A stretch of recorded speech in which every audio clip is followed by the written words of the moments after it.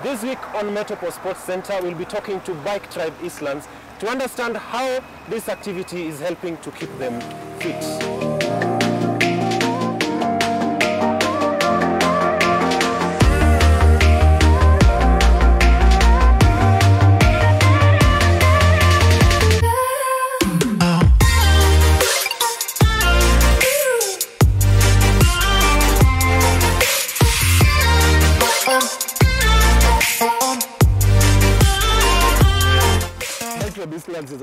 It's a community group, eh?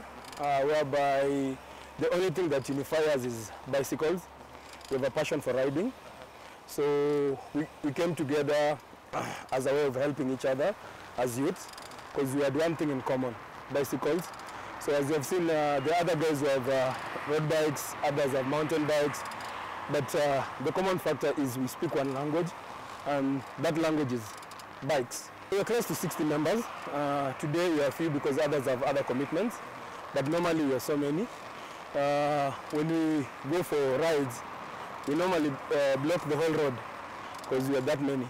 COVID affected our activities because we could not go outside Nairobi because uh, like me, I'm only four months uh, into the tribe. But uh, before I came in, they used to go to all the way to Makueni. They used to go all the way to Naivasha, Limuru. So they have, uh, they've really done very, very uh, far distant rides. But uh, since I came, we've done Isinya, we've done uh, Kiambu, we've done Thika.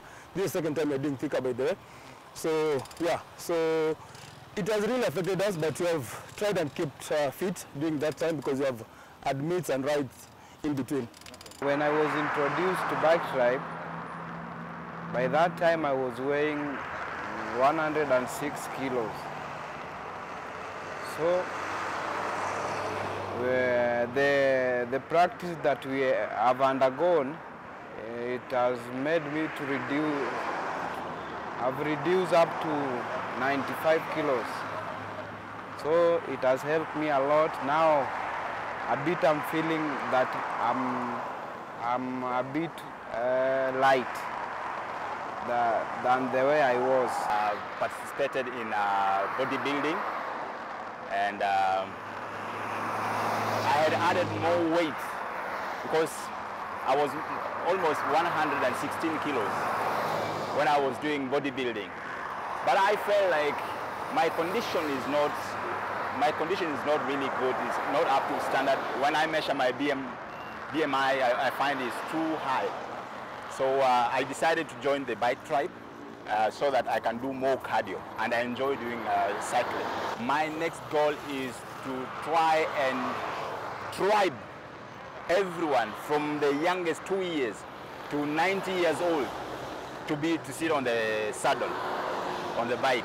One big thing that I like about the Bike Tribe Eastlands, we also have a development program for young cyclists. Uh, when, uh, like this week, we have uh, done a ride to Thika.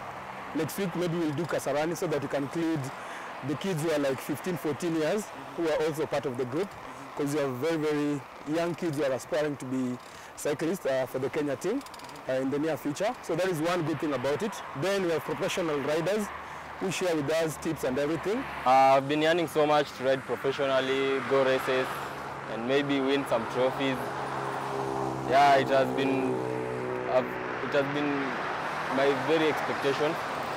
So early this year I joined a professional team, not just on, just to train with them for a couple of months, and uh, now I'm back in Nairobi. The professional team, the Kenya Riders, are, are at Iten in Eldoret. So I was there for four months and I've learned something. Yeah, I improved my skills. Yeah.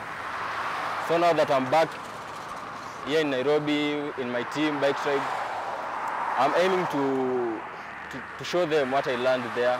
Yeah, to also them to improve their skills in riding. And uh, we hope to participate in the races. We have a lot of safety measures. Uh, when you're doing most of like the big rides, we, we- we normally have uh, police. We normally have police escorts uh, and an ambulance with us and a, a towing car. Because like uh, today, one of us got injured. It's unfortunately uh, we didn't have an ambulance with us, but we normally have that as a precaution. The other thing is just the safety gear, because uh, we advise that uh, first and foremost you have an helmet. Uh, helmet is very, very key uh, to have. You have the right cycling gears, the reflectors and everything. And more so, your bike has to be in good shape. Uh, not only you as an individual, but your bike has to be in good shape. So you have to service your bike at least uh, once or twice every month. Then uh, after that, uh, there are tips and signs and signals that we normally teach them as well. Like when you want, uh, when you're going over a bump, you indicate you're going over a bump. When you're maybe you're diverting, you can uh, put a thumbs up as you divert. I've known road signs basically on not the signs that you use on a vehicle, but on a bike. And also my safety on the road has improved. I know where to pass and where not to pass. I know how to when to join the road, where there are junctions and stuff. Yeah, it has helped me a lot. I've known how to make flat tires, do service. Yeah, and I'm good. Before one is a member for Bike Tribe Eastlands, uh, we have a registration uh, that is in place. Uh, we are currently trying to uh, get a, a figure because there are guys were there before, they have invested a lot in terms of resources and everything. Uh, so those are some of the things that uh, we need to do and uh, we need to realize uh, first. So there will be a registration cap. Then one has to be committed 100% uh, to be part and parcel of us. Then uh, there is the kit, team kit, which is underway. So in the next like a month or two, when you visit us, we'll be, all be in the same gear. So those are some of the restrictions or registration things that we are trying to put in place to ensure that uh, we look more as a team and we look more unified. Uh, accidents are unforeseeable, so the best thing uh, we need to have an insurance policy, uh, which is an accident cover, and uh, that is what even at, at uh, as Bike Tribe we are trying to bring uh, an accident cover for all the riders, so that when one gets injured while uh, riding, they're able to co- be covered with the insurance. So these are some of the things that are in the pipeline uh, as part of the registration as well. So we'll also have an insurance cover that will ensure that uh, riders are covered uh, to a tune of maybe up to half a million. So in case of any injury, they are able uh, to be covered. Their bikes as well are insured for accidents. So because bikes are quite expensive, because uh, just a good bike goes maybe for 50,000, that is the road bikes and maybe to 100,000, 150,000. So there is an incentive to insure the bikes as well. So as, as uh, apart from just having an insurance cover, personal insurance cover for accident, also an insurance cover for the bikes. So we are also uh, engaging different insurance company just to see that uh, we can have this cover on board as well. So that anyone who is joining also has to pay insurance, also has to buy the necessary equipment uh, that they need to ride. Before they start cycling, uh, one major thing that they need to have is a helmet. Helmet is very, very key uh, when you're starting cycling. Once you have serviced the bike and there's a bike, make sure you have a helmet. Make sure you have uh, a jersey uh, that is like a reflector or it's quite colorful, that is very, very easily visible. Uh, the other thing, make sure you have people who can guide you uh, as you start because uh, there are so many techniques uh, that are in cycling that one needs to learn before they get on a major road or maybe just start cycling. Because if you don't have all these techniques, it means you're bound to make mistakes or you're bound to tear up uh, your muscles or uh, the small ligaments that you have. So you also need to know how to moderate uh, your gears when you're going up a hill, going down a hill, when you're on a flat surface. You only you need to know all these techniques and what can you do with your bike, what can't you do with your bike. Because if you don't know these things, then you tend to harm your body.